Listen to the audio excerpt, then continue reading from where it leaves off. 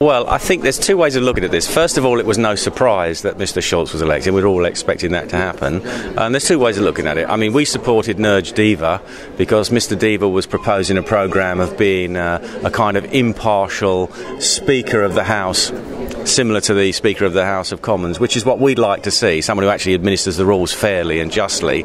And we all know that Mr. Schulz is an, an absolute advocate of deeper integration. He sees this whole place as, a, as a, an engine of doing that, and his job is helping to move forward the great European project. So the other way of looking at it is if we get Mr. Schulz on BBC TV news and in the press, he'll do a great deal more to further the cause of British withdrawal than we could probably do with a similar airtime because people will look at him and think, my God, if that's what it's all about, we need to be out of it. So I suppose in the you know the kind of Leninist philosophy that worse is better, then Mr. Schulz will do a good job.